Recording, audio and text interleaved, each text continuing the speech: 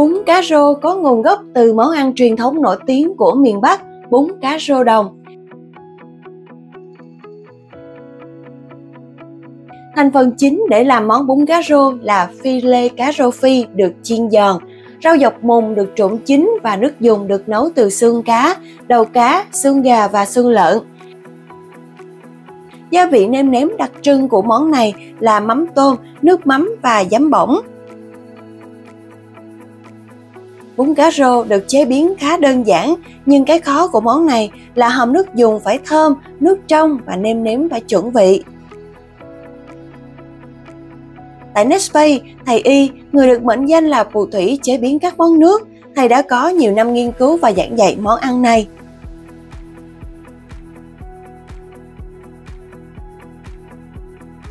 Với thầy, món bún cá rô sẽ được cải tiến rất nhiều để tạo sự hấp dẫn đặc biệt cho người Việt.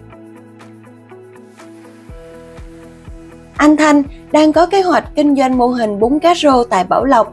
Anh đã tìm đến thầy Y để thọ giáo bí quyết sản xuất và kinh doanh món bún cá rô.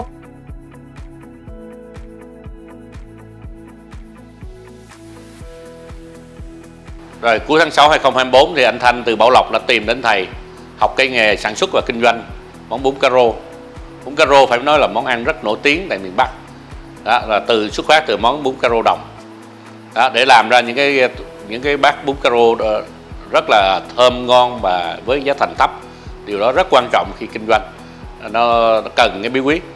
Thì thầy đã nghiên cứu món này rất là lâu và đã giảng dạy rất nhiều cho nhiều học viên đã kinh doanh thành công. Thầy đã hướng dẫn anh cách chọn nguyên liệu cá tươi ngon, cách hầm xương, ướp hương, nêm gia vị để tạo ra nồi nước lèo trong, thơm ngon và đẳng cấp. Đó, thì ngoài cái xử lý cá thì thầy hướng dẫn về cái uh, cách hầm nước dùng. Hầm từ cái cái các xương cá rồi xương gà. Hầm sau là nước nước dùng nó trong và không cần vớt bọt. Đó rồi có thể là làm nước cốt rồi thầy hướng dẫn cái nêm nếm ướp hương nêm gia vị để là tạo nước nước lèo rất là thơm ngon đẳng cấp. Cách phi lê cá, ướp cá, chiên giòn là công đoạn rất quan trọng để tạo ra những miếng cá vàng và giòn thơm.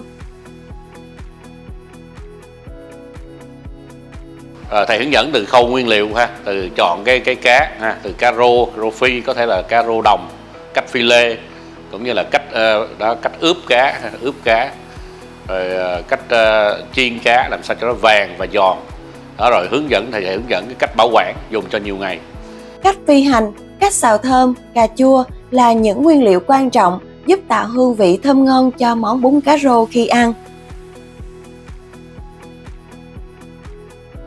Cách bảo quản nước lèo, bảo quản cá, bảo quản rau, bảo quản bún để sử dụng cho nhiều ngày, giúp giảm thiểu đáng kể thời gian khi vào bếp, không phải thức khuya dậy sớm khi kinh doanh món ăn này. Không chỉ được trải nghiệm học tại bếp trung tâm, anh chị còn được thầy y hướng dẫn cách ra món tại quầy bún, cách bố trí, sắp xếp quy trình bán hàng để đưa ra những tô bún nóng, thơm ngon và nhanh chóng.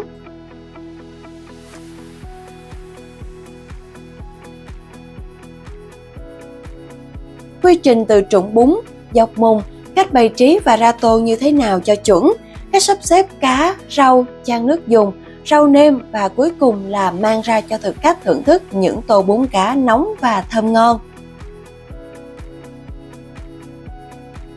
Rồi à, thầy hướng dẫn về cái khâu bố trí bán hàng từ cái cái khâu uh, bố trí nước trộn rồi uh, cái nước uh, bảo quản nước lèo rồi cái cách uh, bày trí ha, trên trên cái cái bàn cái tủ cái quầy bán hàng.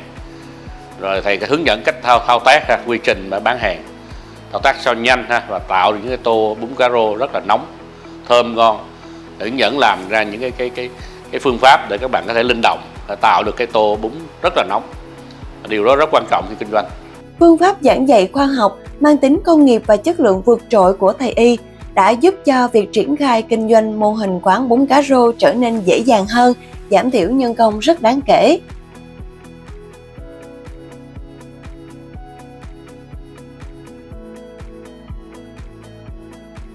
mô hình kinh doanh bún cá rô phải nói là mô hình rất là tối ưu vì à, giờ cái chi phí à, về về khi à, mua cá rô thì cái chi phí rất là thấp thì giúp cho cái cái cái nguồn đầu đầu vào rất là thấp. Cũng như là cái cách hầm xương á, thì à, tận dụng được cái cái đầu đầu cá xương cá.